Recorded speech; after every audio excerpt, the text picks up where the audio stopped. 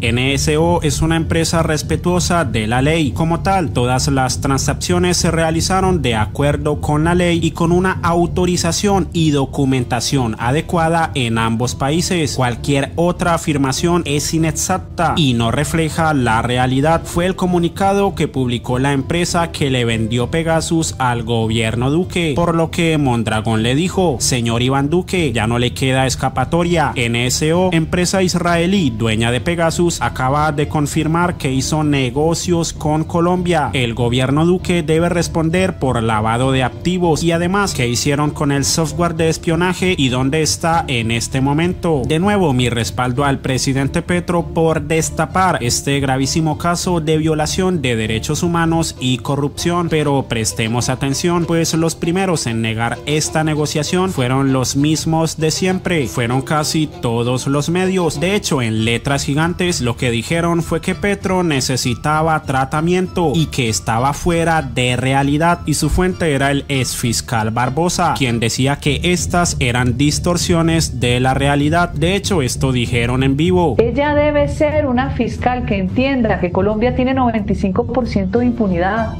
Distraerse en lo de Pegasus es quitarle elementos de investigación a procesos mucho más importantes que el chisme de que Petro está volviendo mito y ella está ayudando a volver mito y le aseguro que está toda la mamertería y sus bodegas ya construyendo un caso, un caso de Pegasus porque es que lo chuzaron. Mire Vicky, no creo, y de verdad se lo digo, que en el gobierno de Iván Duque ninguno hubiera sido capaz de girar 11 millones de dólares y menos en efectivo, porque si algo no se puede poner en duda es que ellos no transaban con dineros como seguramente lo ha hecho este gobierno desde antes de ser gobierno. Y esto era lo que decía Vicky. Sale en una locución que había anunciado como algo muy importante y pues todo el mundo dijo pues va a anunciar algo sobre el paro de camioneros.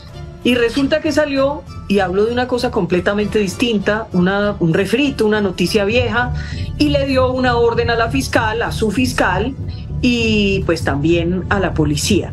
¿Qué piensa usted de esta actitud del presidente que es realmente tan exótica y tan extraña? pero exótico y extraño fue también lo mencionado por Darcy Quinn, quien con total seguridad mencionaba que Pegasus nunca existió en Colombia. Pegasus no existe. Es un tema que se investigó, se llegó a la conclusión de que no existe en Colombia, que nunca fue vendido a nuestro país y mucho menos en una transacción oscura. Pero ahora que se comprobó que sí existe, por más que buscamos no encontramos la noticia en Revista Semana y por más que buscamos en el perfil de Vicky tampoco apareció y con total descaro en la W Radio los periodistas que negaban a capa y espada la compra de Pegasus ahora dicen que no tienen nada de malo y que fue comprada para combatir el terrorismo. Pero NSO Group solamente vende Pegasus. Eso es lo que hace NSO Group, no hace nada más. es decir, no hay vende ese software. Esa era la pregunta anterior a Santiago. No hay, no hay otras transacciones sobre Pegasus. Me pongo la camiseta de los oyentes. ¿Cuál es el problema? Sí, que se negó siempre, que se compró en escondidas que para qué se está usando o se usó Pegasus. Entonces, eh, ahí, hay, ahí, hay que hacer unas claridades muy importantes porque esto obviamente, como lo ha manejado el presidente de la República, se ha politizado, don Juan. Y es, eh, lo primero es que Pegasus es un software que fue creado por esta compañía para perseguir el terrorismo y lo ha usado Israel en las operaciones contra terroristas de Hamas y Hezbollah. Por eso, ¿qué tendría de malo Mira, que el acá gobierno dice colombiano, terroristas, traficantes, que el pedófilos, crime, que el gobierno criminales. colombiano hubiera comprado un ¿Qué arma, tiene de malo? un arma de inteligencia para combatir a los delincuentes. ¿Cuál es el problema? Volvemos, volvemos a, la, a la primera pregunta. En sí misma la adquisición de un software de esta naturaleza no es ilegal. Una última pregunta y es, a mí no me queda tan claro después de leer la página de NSO Group eh, si ellos solamente, digamos, hacen ese software porque ellos hablan de tecnologías para Sí. ayudar a los países a combatir.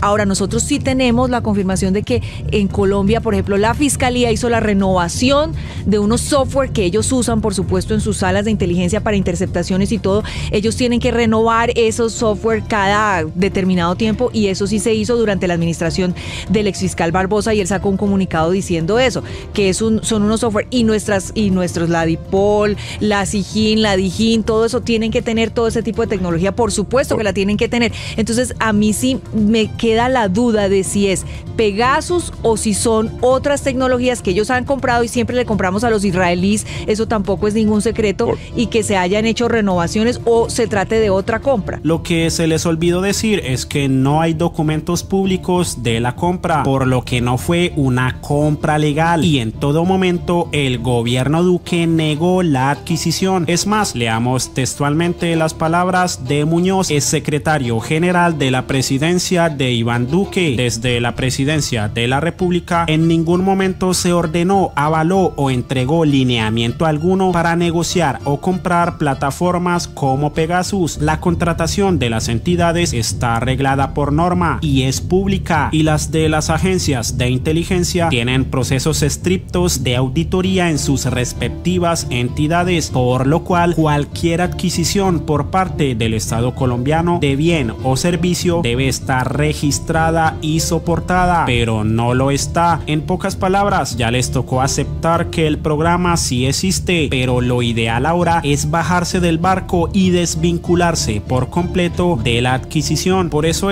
esto mencionó Mondragón. Como en la época del DAS, el juridismo sigue chuzando en Colombia. NSO Group, la empresa israelí dueña del software de espionaje Pegasus, acaba de confirmar en un comunicado a periodistas que sí hicieron negocios con Colombia. ¿Dónde están los juristas que llevan meses negándolo?